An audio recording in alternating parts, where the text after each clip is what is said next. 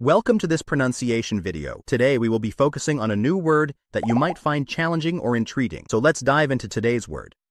Play, which means engage in activity for enjoyment and recreation rather than serious purpose. Let's say it all together. Play. Play. Play. One more time. Play. Play. Play. Thank you for joining us on this adventure in pronunciation. Remember, language is a journey, not a destination. Keep exploring, experimenting, and expanding your linguistic horizons. We'll see you next time.